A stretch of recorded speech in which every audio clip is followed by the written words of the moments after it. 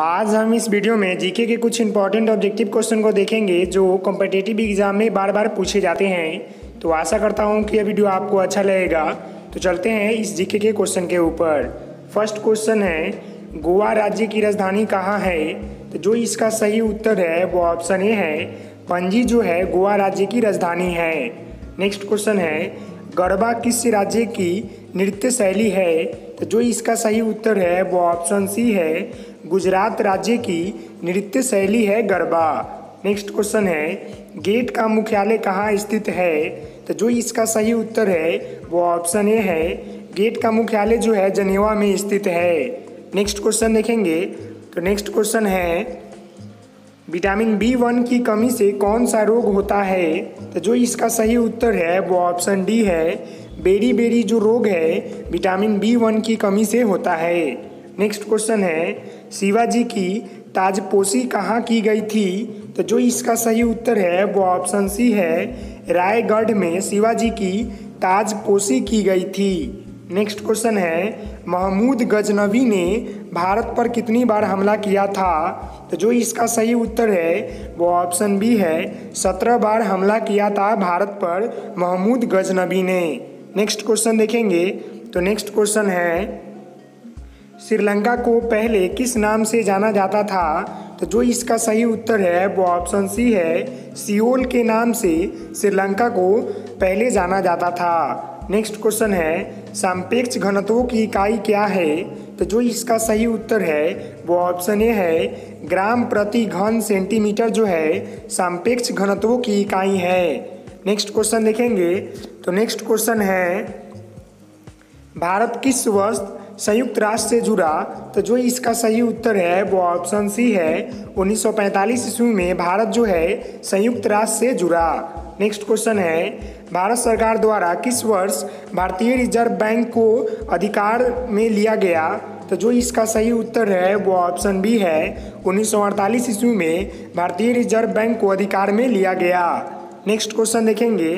तो next question है पूर्ण स्वराज का प्रस्ताव भारतीय राष्ट्रीय कांग्रेस के किस वार्षिक सत्र में पारित किया गया था? तो जो इसका सही उत्तर है, वो ऑप्शन डी है, लाहौर के अधिवेशन में पारित किया गया था पूर्ण स्वराज को।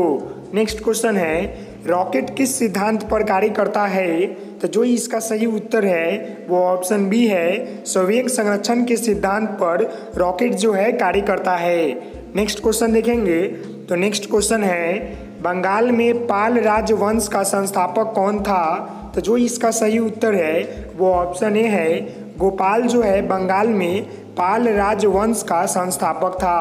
नेक्स्ट क्वेश्चन है, राष्ट्रपति द्वारा राज्यसभा में कितने सदस्य को मनोनीत किया जा सकता है? तो जो इसका सही उत्तर है, वो ऑप्शन सी है। बारह सदस्य को राष्ट्रपति द्वारा राज्यसभा में मनोनीत किया जा सकता है। नेक्स्ट क्वेश्चन देखेंगे।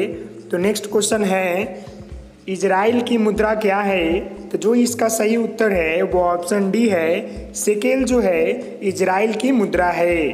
नेक्स्ट क्वेश्चन है, प्रसिद्ध पवित्र हिंदू तीर्थ स्थान अमरनाथ किस राज्य में स्थित है? तो जो इसका सही उत्तर है, वो ऑप्शन ए है। जम्मू कश्मीर में स्थित है अमरनाथ। नेक्स्ट क्वेश्चन है, रसोई में इस्तेमाल होने वाले नमक का रासायनिक नाम क्या है?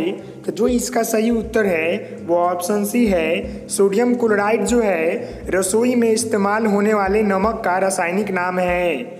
नेक्स्ट क्वेश्चन है। तो नेक्स्ट क्वेश्चन देखेंगे।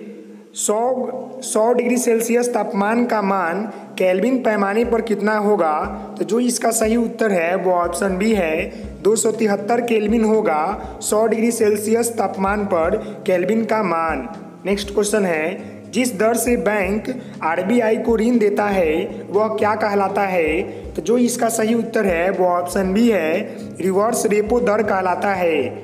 नेक्स्ट क्वेश्चन है, चिराव बाँस नृत्य किस राज्य से संबंधित है? तो जो इसका सही उत्तर है, वो ऑप्शन डी है। मिजोरम राज्य से संबंधित है, चिराव बाँस नृत्य। नेक्स्ट क्वेश्चन है, संयुक्त राष्ट्र संघ महासभा का कार्यालय कहाँ स्थित है? तो जो इसका सही उत्तर है, वो ऑप्शन ए है। न्यूयॉर्क में स्थित है, संयुक्त राष्ट्र संघ महासभा का कार्यालय। नेक्स्ट क्वेश्चन देखेंगे।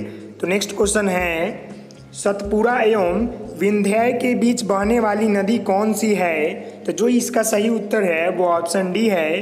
नर्मदा नदी जो है, सतपुरा एवं विंध्याय के बीच में बहने वाली नदी है। नेक्स्ट क्वेश्चन है, भूकंप की तीव्रता किस यंत्र से मापी जाती है? तो जो इसका सही उत्तर है, वो ऑप्शन सी है। रिएक्टर स्केल से भूकंप की तीव्रता जो है, मापी जाती है। नेक्स्ट क्वेश्चन देखेंगे। तो नेक्स्ट क्वेश्चन है रंगा स्वामी कप किस खेल से संबंधित है? तो जो इसका सही उत्तर है, वो ऑप्शन बी है। रंगा स्वामी कप जो है, हॉकी खेल से संबंधित है।